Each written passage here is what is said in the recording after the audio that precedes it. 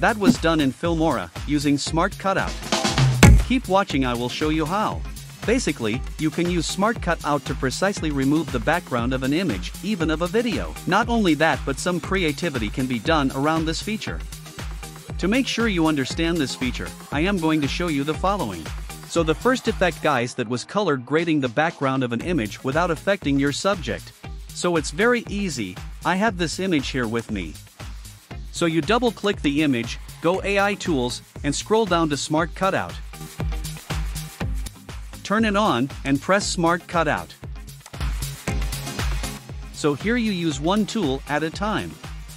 So on the first tool, you use it to select whatever you want to remain on the image, either the background or the subject. And this second tool here is actually to unselect where you might have mistakenly selected. And this hand tool will allow you to scroll your zoom.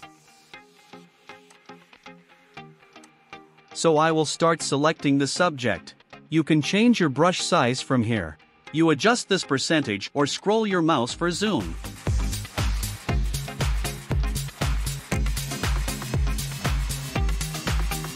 So I will adjust the edge thickness from here as well as the feather. In case you wanted to select the background instead of the subject, you can invert the selection from here. So after that press save. So the next thing is to duplicate this image. Then double click one and go color. You can do the color correction you want, but I will just pick up a preset just to save your time. So you just take a screenshot and take another preset and repeat as many as you want.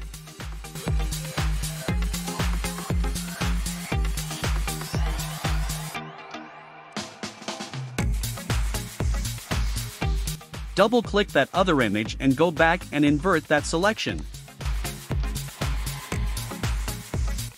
And then extend it on the above track.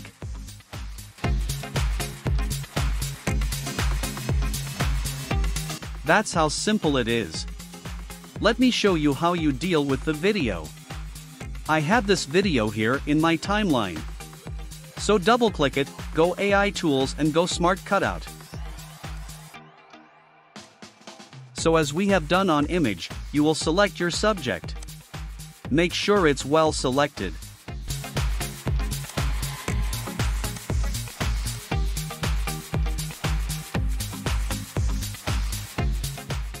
Then go advanced. Press here to track your selection throughout the video.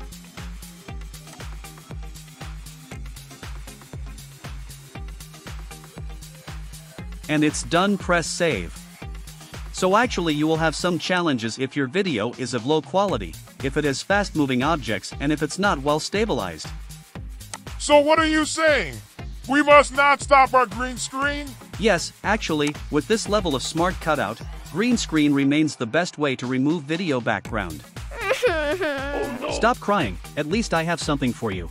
This playlist here will make you understand texts better. But don't forget to subscribe. How can you say that? This person has already subscribed.